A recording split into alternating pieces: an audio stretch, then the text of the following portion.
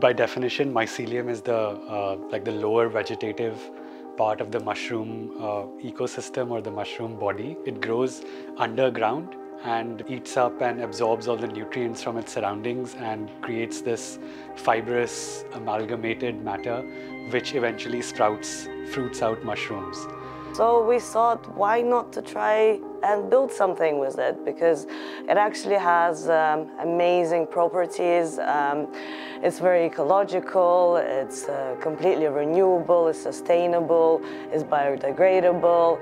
And once you get a finished product, it also has an amazing acoustic and insulation properties. What you're seeing right now in terms of the actual building use for it is in kind of like non-load bearing instances, right? So an insulator, in interior walls, um, as acoustic boards. That was something that we really wanted to challenge and something that we were really interested in is how can we actually make this into a building material that can be functional just like a brick can be, right? On an exterior and something that can support weight. At the start, we started printing uh, shapes and boxes for the actual mycelium to sit inside. And then I thought, oh, why don't we try using natural woods and like natural material to print and see if they will grow or stick to them. We tried with several different types of wood and we found out one of them you could use really well. Uh, we then started mixing with Perspex and the wood, which will give you a really clean edge from one side.